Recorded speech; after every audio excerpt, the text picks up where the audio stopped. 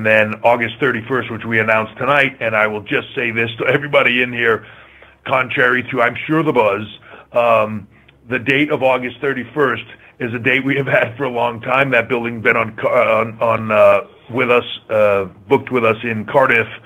Uh, geez, long before WrestleMania, I think we just hadn't announced because it wasn't the right time, and you know you want to announce something for a brand six months out or whatever. At least I don't, the way I see it. But um, tonight was the right night to do it. It has nothing to do with anybody else. And be honest, uh, we will take place live in prime time in the UK and be on in the afternoon here uh, in the US. So uh, it is what it is. But I'm really excited that the the UK brand of NXT.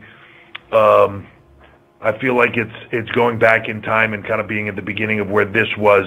And you look at the talent that are there and the talent that are coming out of there. Um, it's spectacular, and I think that there's competition within NXT, the NXT header itself. So uh, while we talk about statements, I know that that UK brand in Cardiff on the 31st is going to be looking to make a statement as well, and they're going to be able to uh, want to walk out of that building in Cardiff and look across the pond over here and say, follow that. So uh, I would expect a statement to be made there as well.